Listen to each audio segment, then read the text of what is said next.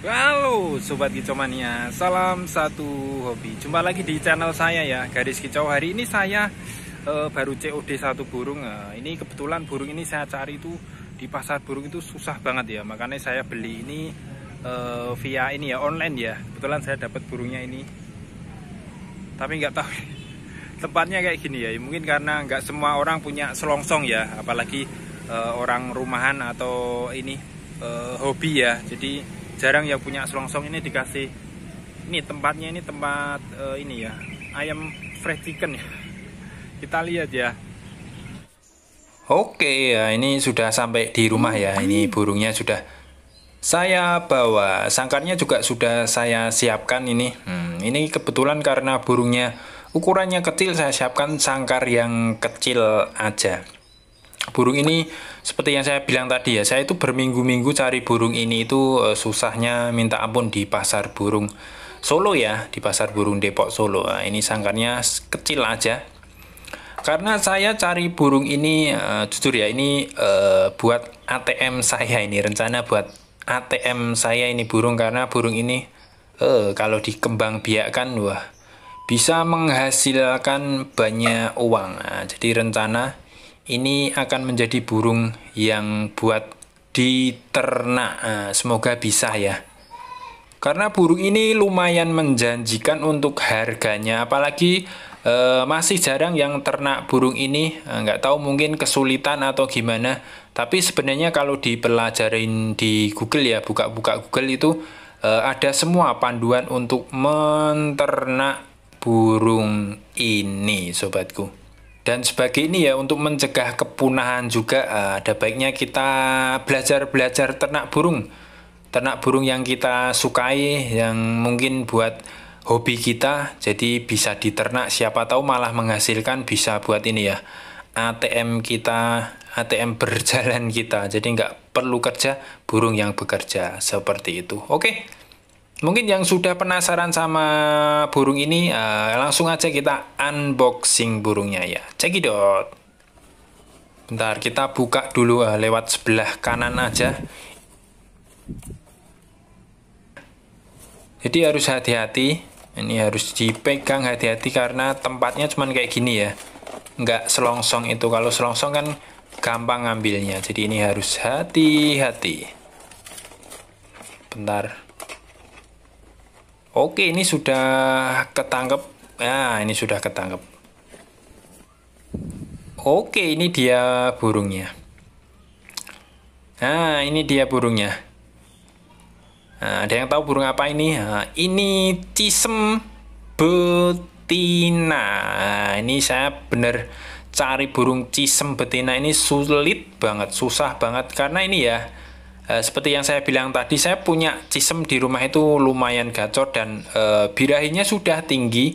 E, kayaknya kalau di ternak itu menjanjikan, makanya saya cari betinanya ini. Ini saya nyari sulitnya minta ampun. E, coba nanti saya dekatkan sama cisem saya yang di rumah yang sudah gacor dan kayaknya sudah siap. Nah, ini kebetulan saya cari yang betinnya untuk rencana saya ternak ya. Tapi nggak tahu semoga berhasil ya. Tapi memang harus sabar ya karena tahapnya itu panjang apalagi burung factor ya. Burung factor itu penjodohannya itu juga nggak gampang. Jangan langsung di ini ya dicampur dari satu karena walaupun jantan dan betina itu tetap berantem nanti. Bisa saja yang betina itu dihajar atau sebaliknya kalau mentalnya yang jantan kalah, eh, yang jantan juga bisa dihajar sama betinanya. Jadi untuk burung vektor seperti ini penjodohannya harus sabar. Ini Betty, Betty seperti ini. Hmm. Ya ini tahap belajar ya. Siapa tahu nanti bisa ini ya bisa berkembang lebih banyak dan memiliki berapa pasang atau berapa ekor yang saya ternak. Sementara nyoba yang satu dulu ini kita jodohkan bisa nggak? Kalau nggak jodoh ya otomatis kita harus mengganti jantan atau betinanya. Kondisinya seperti ini. Kalau betina seperti ini ya wajahnya aja memang kelihatan cantik. Terus kukunya itu ya bisa dibilang kukunya itu warnanya putih kalau betina. Jadi harus ini harus teliti ya belinya ya jangan salah beli. Terus kalau paruh itu uh, agak sulit. Uh, ini betina aja paruhnya juga hitam. Biasanya kalau searching di internet itu kalau jantan paruhnya hitam, ini juga hitam. Hmm. Tapi kalau kakinya itu kelihatan. Kalau jantan itu kakinya hitam, kukunya ya maksudnya ya kukunya hitam. Kalau ini kukunya itu putih. Nah, dan ini kelihatan imut wajahnya seperti ini, kecil banget. Berbeda banget sama yang jantan ya. Nanti saya dekatkan yang jantan coba kita ini ya. Kita sandingkan di sini cuman nggak satu sangkar ya. Kita dekatkan nanti responnya seperti apa. Siapa tahu langsung jodoh atau siapa tahu bisa jodoh Nah, nanti tunggu beberapa minggu atau beberapa hari kita lihat perkembangannya. Kalau kelihatannya jodoh ya nanti kita satukan dalam satu sangkar. Nah ini masih brodol ya sayapnya brodol kanan kiri brodol semua ini. Kalau ini jenis cisem ya karena ada ini ada warna kuningnya. Punya saya tuh sebenarnya juga cisem uh, ciblek semi ya. Uh, tapi punya saya itu kuningnya itu sudah hilang karena mungkin faktor makanan ya jadi kuningnya itu benar-benar hilang terus dadanya itu sudah mulai kelihatan kristal e, karena ini e, mungkin satu kali mabung lagi nanti kelihatan kristal karena ini. Itu hitamnya itu sudah mau nyatu ya di lehernya. Nah ini coba kita masukkan ke sangkarnya. Nanti saya ambil yang jantannya coba kita dekatkan reaksinya itu seperti apa. Bentar saya ambil yang jantan dulu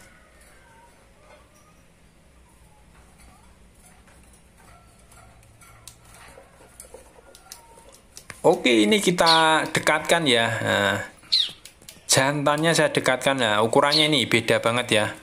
Uh, besar ini yang jantan punya saya ini. Karena ini uh, birainya sudah tinggi, kayaknya siap ini di ini dijodohin dan dikembang biakan di rumah ya. Hmm, ini. Nah, punya saya itu yang lama ya. Yang lama itu benar-benar kuningnya itu nggak ada jadi kuningnya itu sudah hilang, sudah full putih dari dada sampai pangkal ekor ya. Nah, full putih. Kalau yang baru ini ada kuningnya, yang betina yang baru saya beli ini. Oh ya, sampai lupa saya beli ini 45.000 harga standar ya, nggak mahal, nggak murah juga. 45.000 beti ini betina. Nah, ini nggak narung ya. Mungkin ini masih penasaran masih penjajakan ya ini nggak narung. Semoga nanti kalau perkembangannya baik e, seminggu lah. Kalau nggak narung coba saya tempatkan dalam satu sangkar. Oh ini ini, ini. Oh, oh punya saya ini udah factor seperti ini. Jadi sudah saatnya saya kasih jodoh ya.